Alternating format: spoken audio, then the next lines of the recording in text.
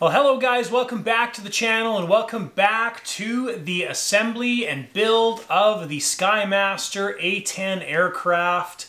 It's been a while since we have had any videos on this aircraft. It's been a while since we've done any progress, but it's time to get back into this aircraft. So hang tight, we'll be back to continue with the assembly of the A-10.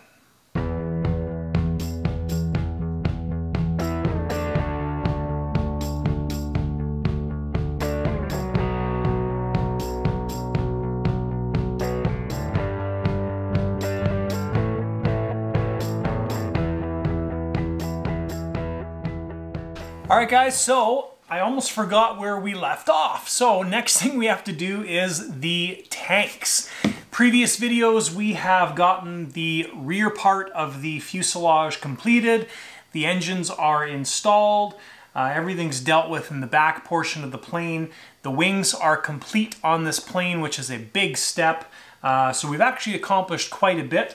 Now we're just moving forward on this aircraft. So before we plug up any more of this fuselage, we need to get these fuel cells figured out. And once we're done these fuel cells, we can join the fuselage pieces together and continue moving forward on this aircraft. So if you guys are not familiar with my other channel, it's called The Lighter Side. And uh, there's a link, I'll put a link down below in the description. Basically, we have been working on a house build for many, many years, and it's finally nearing completion. So roughly when this video comes out, we're probably very close to being homeless, and I know that sounds bad. Uh, we're very close to being homeless, or we're very we are already homeless. So if you uh, want some fun entertainment, head over to my other channel and check it out. Uh, if you only watch this channel, you will suddenly notice that my videos will start to appear somewhere else. And uh, it's not a finished area. So it's going to be an interesting uh, month coming up here on the lighter side and the lighter side of RC. But uh, we will continue with progress on building aircraft wherever we are. Anyways, let's deal with these tanks. Okay, so tanks are pretty straightforward on this aircraft. They basically only really fit in one way. Now you can take these tanks and interchange them so the bung holes are closer to the center.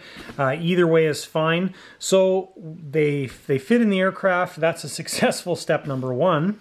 All right, step number two, locate the hardware. We've done that. And uh, let's see if we can unwrap this nice and quickly. And through the magic of video editing, our parts are unpackaged. So we've got a few things going on here. Obviously we've got our clunks and our bungs and our lines and all that kind of stuff. Pretty simple uh, fuel system on this plane. You basically have two completely separate fuel systems. So we've got the fuel system for one turbine, the fuel system for the other turbine. Both of the pickups on these tanks go to their own UATs, which will be mounted in the aircraft. And uh, so it's two individual fuel systems, which makes things really, really easy. So that's how we're setting this thing up. And uh, so first thing I'm going to do is I'm going to assemble all the parts get the tanks made up, and then we're going to check them for leaks. Now, before I do the tanks up, what I like to do is dump some rubbing alcohol in here and uh, I'll use one bottle per tank and basically dump half the bottle in there, shake it up, dump it out, and put the other half in there, shake it up, dump it out. The reason rubbing alcohol is nice because you can just put it in the trash and it'll just evaporate. So uh, you can use fuel, like jet fuel. Problem with that is then you need to find somewhere to put it. So step number one, rinse out the tanks. All right, so we got both tanks plumbed and they are ready to go. So we've inserted them. Um, we have marked them vent fuel, right? So that's the vent line, that's the fuel supply line. And next thing we'll do is, we can do this a couple different ways. You can either pressurize this and leave it sitting overnight, or you can pressurize it and put it underwater and then see if it's leaking. Because it's near the end of the evening, what I'm going to do is I'm just going to put a piece of tubing on this. uh, that has a crimped end and I'm going to put an open piece of tubing and blow on it with my mouth and we'll just cl clamp it with the forceps here and uh, tomorrow morning if I pull the forceps off and it shoots air out of the, uh, the clamped vent line then we know that we have no leaks.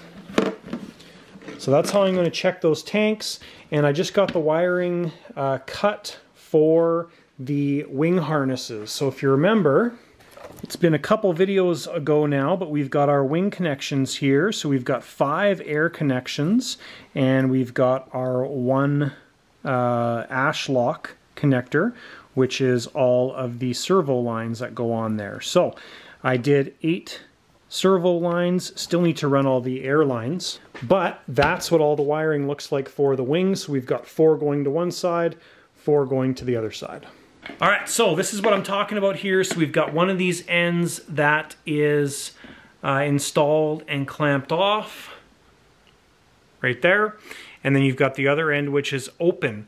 So just remember that if you're putting the open end on your bung line or fuel line, uh, don't let the air blow into your mouth because there's probably residual uh, rubbing alcohol in here and it doesn't taste very good.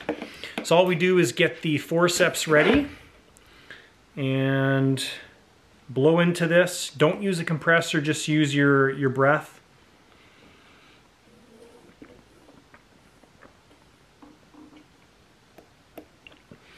And then we squeeze it off. And tomorrow we'll open that up on both tanks. And if it still has air in it, then we're good to go. Good morning, guys. It's the next morning, obviously, and uh, I can feel that the tanks are still holding pressure. We take the forceps off, and we've got alcohol coming out, and the other one. There we go. So both tanks are good. They both held pressure for at least eight hours and uh, we're good to go on inserting those tanks into the airframe. All right, so while we're focusing on the rear part of this plane, uh, I've temporarily put the tanks in place, haven't put them in there permanently yet, and uh, just doing the tray or the supports here for the tray that we're going to have sitting in this back section. So on this back section, that's going to be our air fill valve, our fuel on and offs, things like that. So what I've done is I've taken some basswood, just these strips here, and I've cut them so they were, when you put them in between the tanks, and I put a support across them like this, they were just a little bit low. Okay, so they needed to come up just a little bit like that. So then I raised it up, put some Hysol on there, used my calipers to make sure that they were the same distance on both sides. And then I put a little bit of medium CA on each of the corners there. Used some kicker and glued that in place. So now as the Hysol cures, uh, the CA is actually holding it in place. So I'm going to do that on the front section as well. And our little blocks that we got glued in here are perfect. So um, we're kind of working on the equipment tray here or the startup tray and also our wiring harnesses for the wings. That's our next goals to accomplish here. Now I got a couple things to bring up to you guys. Now number one is easy. Um, number one, I need you guys' help with something. So if you haven't seen the video, the A10 that's in this crate right here, that belongs to my buddy Eric. I'll put a screenshot here of the video we did of that flying. So we bought that, we uh, went through it all, we got it set up for him. Uh, it's in the crate, ready to ship back, and we have decided, well, Eric's decided, that uh, he wants to paint that A10 in the black snake scheme, which is a new scheme. I'll throw a picture up here for the A10, and I think it's an absolutely phenomenal idea. Really excited to do it. So I've actually reached out to Callie Graphics in the U.S. and uh, they are working. They've actually have the uh, the nomenclature or the decals or decals, sorry, uh, already done up. So uh, those are already ordered and they're on the way. So that's one of the projects in the queue that we have coming up. What I need your help with is the following. So I am looking for the color codes. Now, the reason I'm asking you guys is because I know a few of you guys work around A10s, have worked around A10s in the past, and you'd have some connections out there. So I'm reaching out to you guys to see if you can find the black snake colors for me. Now I know we may not have color codes, but there may be something similar, like if you could send me a, uh, a Benjamin Moore color or whatever, uh, that's going to be very, very helpful. It's a very dark gray and then a flat black. I think the flat black is going to be easy, just flat black. But uh, the dark gray is the color I'm really looking at. From the research I've done, it looks like it's just gray gray. So if you guys know anything about that or have any connections where you can find some stuff out, please let me know. All right, and thing number two. Now this is where it gets a little bit uncomfortable, a little bit weird for me. Um, I've pondered this for a while. People have suggested it to me. My wife has suggested it to me. You guys, some of you viewers and supporters of the channel, supporters of the air, aircraft builds has suggested this to me. So that's why I'm reaching out to you guys in this video to give me your opinion. Comment down below, please. Um, we want to build a new shop at the lighter side of RC. We are currently building a new house. Uh, the airplane side of things is going to take over all four garages. So we've got a four car garage. Uh, we are going to take up all the garages and uh, to move this to the next level, we need to build a shop. So I've already got the shop planned out, uh, 26 by 50, and this is where it comes in. So people have suggested start a GoFundMe and you'd be surprised at your channel supporters how much you could possibly raise to get this shop built. So are you guys interested in uh, donating? I have no idea how much. It can be whatever you want towards the shop. Now, the idea I was kind of thinking about, and I'm open to other ideas, so if you have any suggestions, comment down below. Send me an email, please. Um, I want to do a video wall in the new shop and that video wall is just going to be a nice solid background and what I was thinking about was maybe everybody who donates we get your guys' name on the wall, uh, something like that. That's kind of the first thing that I thought of. So weird for me to ask guys, but please give me your opinion down below. All right, so we've got both of the wing harnesses uh, for the wires hooked up. So those are done. Uh, when I was connecting these or laying them out, I was basically looking at the wing, obviously, and making sure that we got the layout correct. Uh, we're marked there to match the wing. And we've run all the wires forward, so our bundle is getting bigger.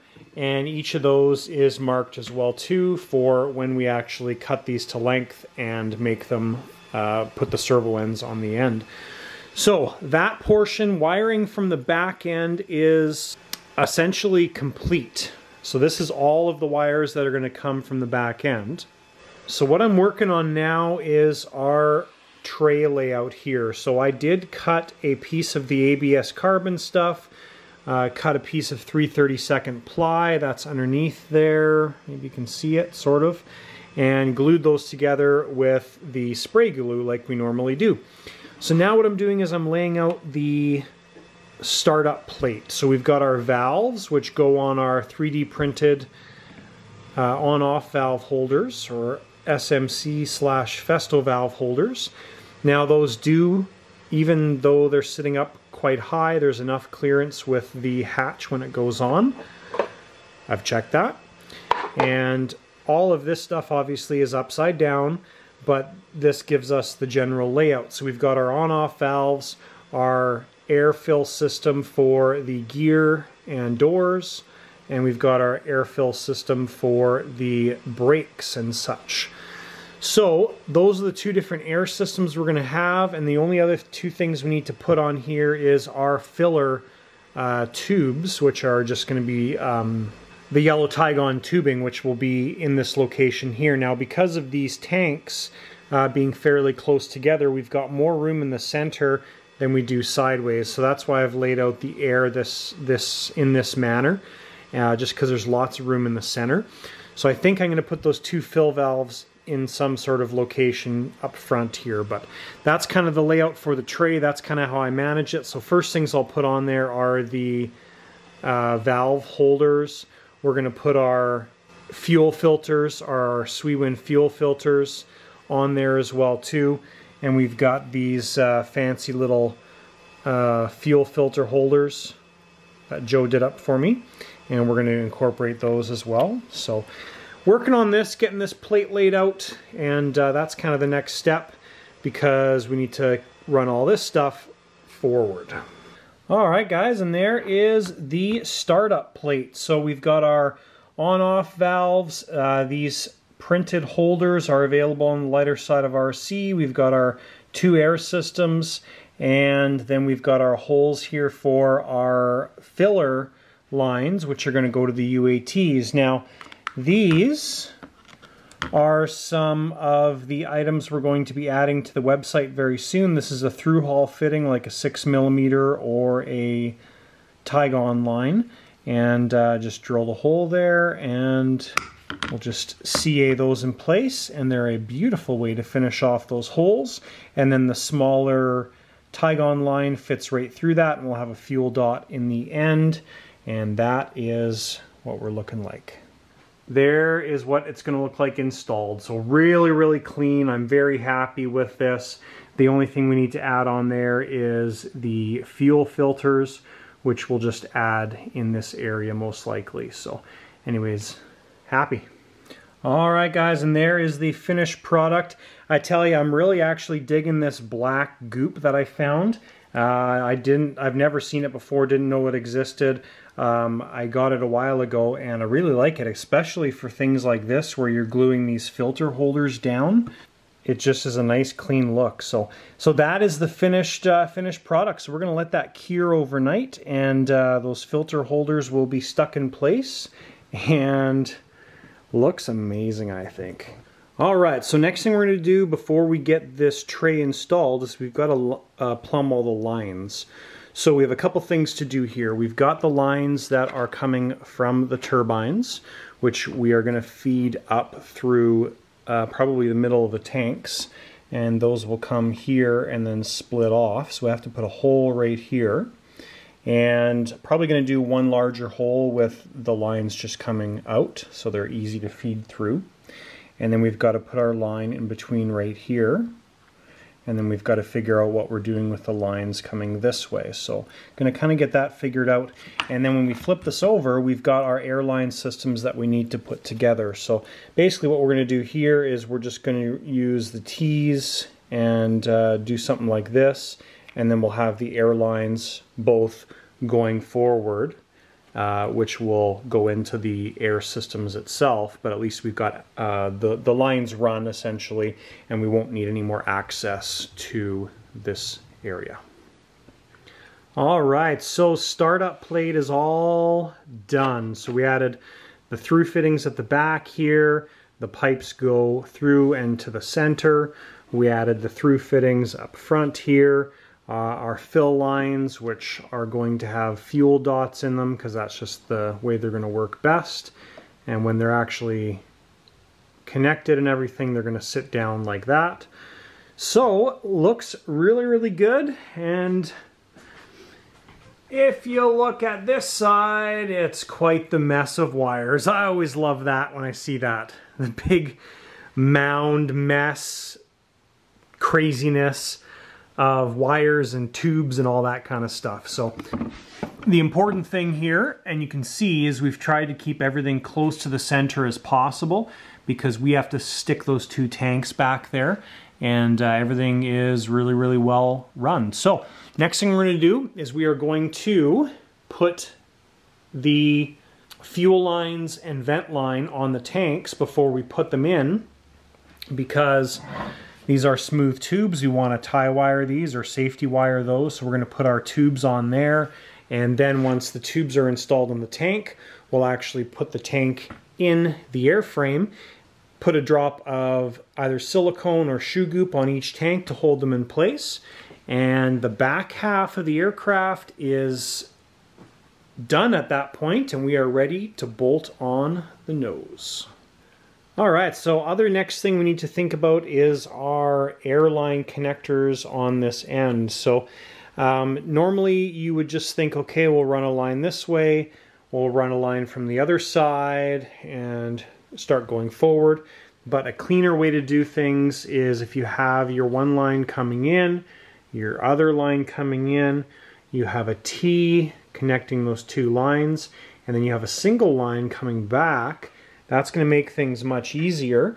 Uh, you want to make sure that your tubes are cut to the same length. So you have a whatever it is, a 7 inch tube this way, a 7 inch tube that way. And that's going to make the gear system work uh, more in tune with each other. And uh, so that's how I'm setting this up as well too. So fortunately for our wings, we've got the layout written out here. So white is lock, gray is unlock, black is brake, blue is gear down, red is gear up. So when I come here to the wings, each of the wings has been completed in that manner.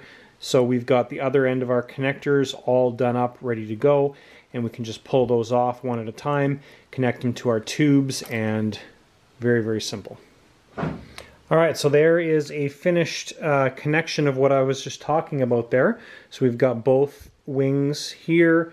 We've got the main blue line, which is going to be coming forward. And now what I'll do is I will get that uh, fed in there and install both ends going out. Now I'm going to probably separate these things um, in by, by groups or systems. So I've talked about systems before. So we've got all of our electrical system coming down this side. Probably going to run all of the air systems on this side and fuel, we'll have to figure that out. I'm probably going to keep them separate just so we can uh, keep things nice and clear as to which is which. But uh, air, air I'm going to start to feed on this side over here. Alright guys, so with the way this is designed, it works out better if the excess uh, wing connections here go into the fuselage because the wing side is fairly stiff with length. So it's going to be uh, easier if we just open up this, uh, this hole to be uh, larger where the uh, all the connectors here can fit in. So I'm going to use my Dremel and just uh, hold the vacuum up there and open that up. And if you take a look at the wing side here, we've got lots of room um, as far as how big we can make that hole to match the wing side. But what I mean is it's just not overly easy if you try and push the excess into the wing. So that's the reason we're doing it. All right, so we got the wing connectors here. We've got the hole opened up so our uh, basically the widest piece, which is the Ashlok connector, fits in. And I have installed a clip down there in the fuselage. You can see the white one right there holding all of the airlines in. So one thing I'll do with these clips is they have 3M tape on them, but I'll put a bit of shoe goop on them. You can see it is black there, and that just helps to make sure that it never moves and is always staying in place. And then from our front end here, I've added another one of those clips there in black instead of white. And then we've got all of our air lines going to our wings. The shorter lines here, the white and the gray, are coming from our startup plate, our fill valves. So what I'm going to do now is I'm going to get the startup plate screwed in place and then we are ready to install our tanks. All right, so next thing we're going to do is we're going to run the line that comes from the fuel side going to the UATs because we want to put that on before we install the tanks in the fuselage. Now as far as distance goes, that's where the standard UAT mounting is. The plates actually have the cutouts for the UATs. There's a bit of a different view there for you. So basically we just need to make sure we have enough tubing to come roughly from here to this part of the fuselage and then from here to the tanks. So to keep it simple, we've got about one hand width.